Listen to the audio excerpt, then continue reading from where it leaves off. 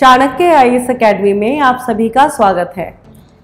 आज जिस विषय पर हम बात करने वाले हैं, वो है वाराणसी।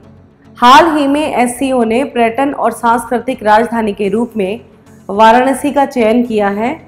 तो आइए इसी के बारे में आज हम विस्तार से बात करेंगे।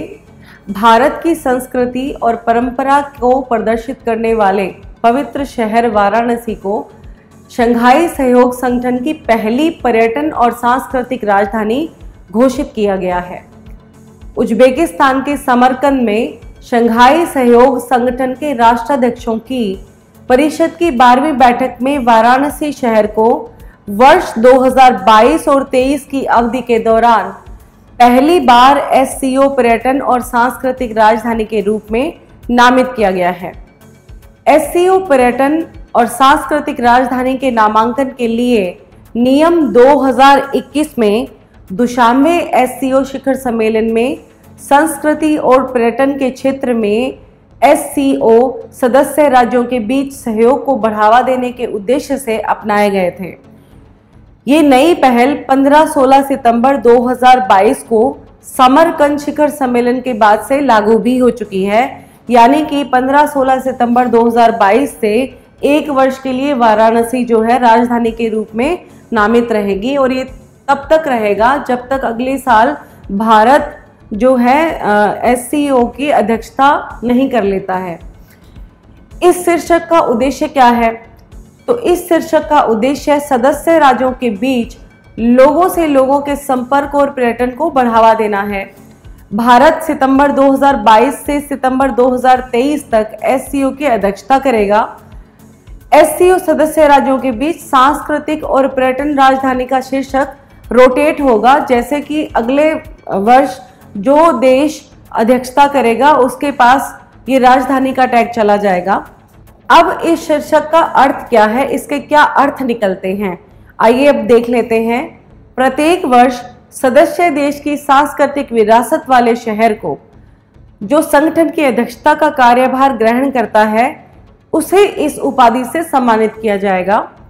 जिस शहर को ये शीर्षक मिलेगा, उस शहर के सांस्कृतिक, आर्थिक, सामाजिक मूल्यों को बढ़ावा देने और आपस में जोड़ने में ये मदद करेगा दूसरे देशों से।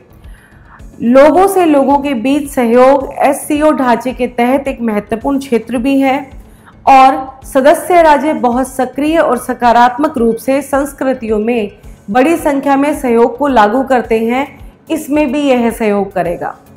भारत ने अध्यक्ष पद का कार्यभार संभाल ही लिया है और अगले राष्ट्राध्यक्षों के शिखर सम्मेलनों की मेजबानी करेगा।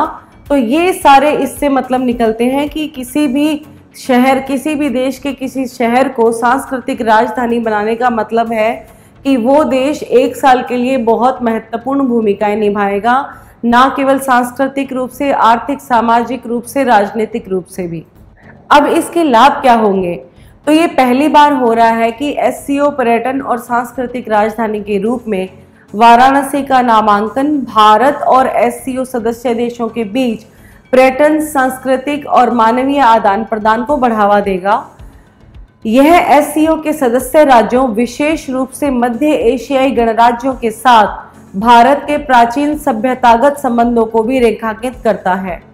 इस प्रमुख सांस्कृतिक आउटरीच कार्यक्रम के ढांचे के तहत 2022-23 के दौरान वाराणसी में कई कार्यक्रम आयोजित किए जाएँगे, जिसमें एससीओ सदस्य राज्यों से मेहमानों को भाग लेने के लिए आमंत्रित किया जाएगा। इन आयोजनों में जितने भी ये आयोजन होंगे, उनमें भारत भर से विद्वान, लेखक, संगीतकार कलाकार, फ़ोटो पत्रकार, यात्रा ब्लॉगर और अन्य आमंत्रित अतिथियों के आकर्षित होने की उम्मीदें हैं। तो ये एक साल चलने वाले सारे कार्यक्रम हैं जो कि सबको आकर्षित करके रखेगा। तो इसलिए इसका महत्व भी बढ़ जाता है।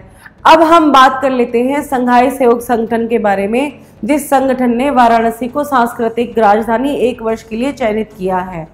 संघाई सहयोग संगठन की शुरुआत उन्नीस सौ छियानवे में चीन, रूस, कजाकिस्तान, तजाकिस्तान और किर्गिस्तान के नेताओं द्वारा शंघाई फाइव के रूप में हुई थी। वर्तमान में संगठन के आठ सदस्य देश शामिल हैं। इन देशों की सूची में भारत, पाकिस्तान और उज्बेकिस्तान सहित चार पर्यवेक्षक, यानी कि ऑब्जर्वर कंट्रीज़ और छह संवाद भागीदार, यानी कि डायलॉग पार्टनर्स इसमें शामिल हैं। इसका मुख्य उद्देश्य क्षेत्रीय सुरक्षा सुनिश्चित करना सीमा मुद्दों को हल करना, आतंकवाद और धार्मिक अतिवाद का समाधान करना और क्षेत्रीय विकास को बढ़ावा देना है। इसके साथ ही हमारा आज का ये टॉपिक यहीं पर संपन्न होता है। हम कल फिर मिलेंगे एक नए टॉपिक के साथ।